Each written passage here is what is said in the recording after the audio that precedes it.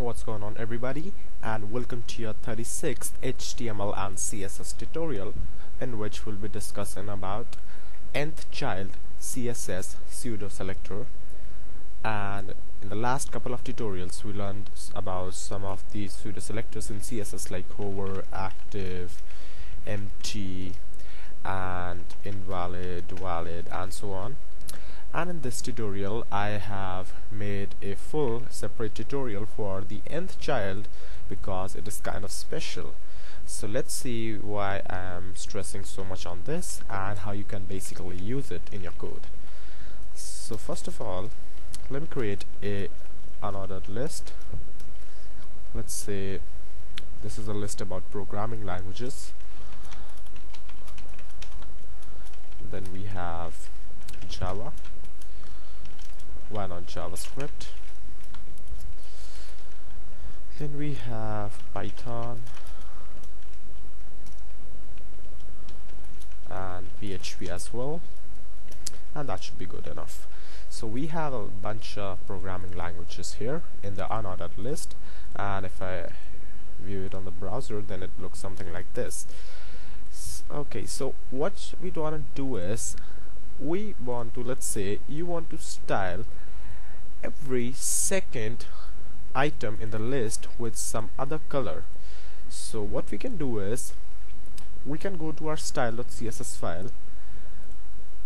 We'll get li put a colon to indicate that it's uh, pseudo selector now and we'll write nth child. Now this nth child what it would do is it would accept a kind of parameter which would accept a number and this number refers to your index starting from 1 so li nth child 1 means select every li whose which is basically first in the parent. So if I reload uh, let's apply some styles before I reload that and now if I reload this then you see that this becomes red. And li nth child right here 1 would apply to any li which is a parent of or basically has a parent. So basically li nth child 1 means that the parent of this li these li's the first nth the first child which is an li, should have these styles. So this ul is the parent of all these li's, and first child the nth child 1 means that first child of the parent which is an li right here should have these styles applied. And so they are. So let's take a look at some more uh, informative example which will help you to understand what this actually is doing. And let's say we create some tables to work with. And let's say what you say? Serial number for the first one. And then we have or th actually. Programming languages. And let's say we do a percentage expertise level. So this is a kind of your resume type of thing.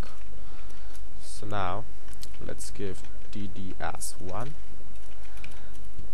C++ any programming language would go. And 100% maybe. Tr td2 c 100% you see I'm so good.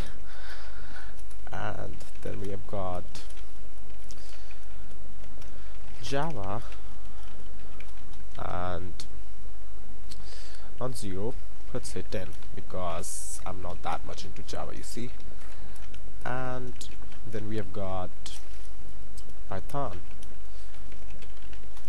And I love Python so this should be 100% and let's do one more because this won't be complete without all-time favorite PHP and that would be obviously 100% okay so we have got this table right here.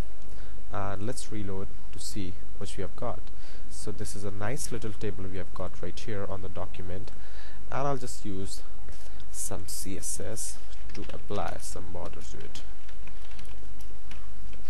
Table uh, tr basically td 2 pixels solid black.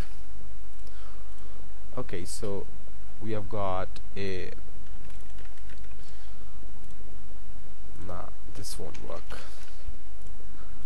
Okay so we have got this border around it which doesn't look much nice but it's good for now. Let's remove that from td or I think let's just make use of the HTML attributes but don't use them on your production site because these attributes are deprecated. Okay so we have got this 2 pixel border with the help of border attribute which is deprecated so don't use it on the production side. Instead use some CSS and I have just used it to speed up what I was doing. So now let's say you want to organize this table a little bit. So what we can do is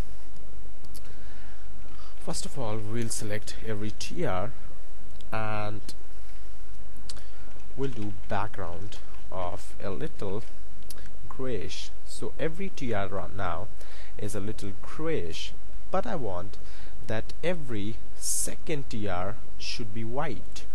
So that would give us a nice little effect. So one thing I can do is either I can go ahead and apply a class to each of one each one of them or what I can do is I'll I can type nth child and inside this when I type odd and I reload this oops I guess I have to change the background.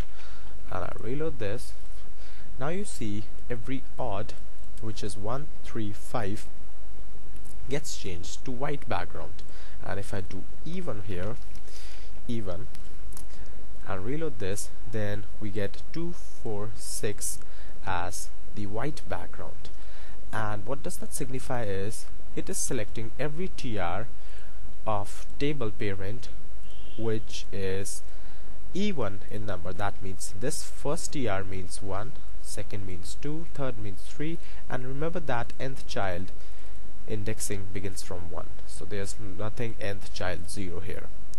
Okay so one thing we have got another thing is n. Now this n now before odd and even we were doing like numbers. So trn child 1 refers to this one. If I change it to 2 then it refers to second row and so on. So what if you want to customize odd and even uh, the odd and even keywords a little bit? So you would like only one in three rows to be background of white. So we can do that by making use of this n n alphabet. And this n basically is a dynamic is a multiple shows a multiple. So 2n basically refers to 2 into 1 and the next time it would refer to 2 into 2 so first time it would say okay select tr which is nth child 2 the next time it would select tr nth child 4 next time tr nth child 6 and it will go on unless uh, or basically it would go on till how many tr elements are there in the document. So when I reload this you see that I get background applied on 2 4 and 6 so this is a kind of a more programmatic alternative of your even one.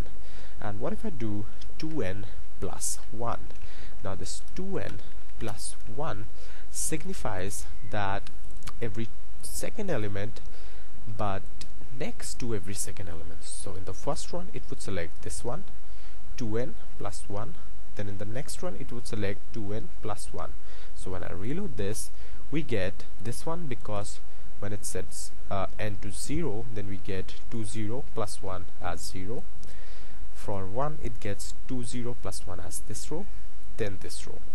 So we could do like also like 3n plus 1 and if I reload this then only we get this row and this row. And any guesses? If I do just n right here what would happen? If I reload it with just n. Any wild guesses? Yeah.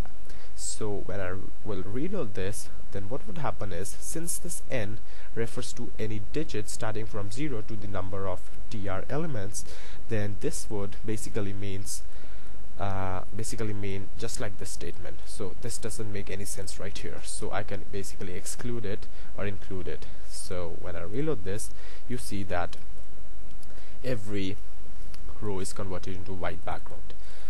So this has got a higher specificity than this one. So this these styles would apply. So that was a quick little tutorial on nth child in CSS and I hope you learned something from it and that's all for this tutorial. And don't forget to subscribe. I'll see you then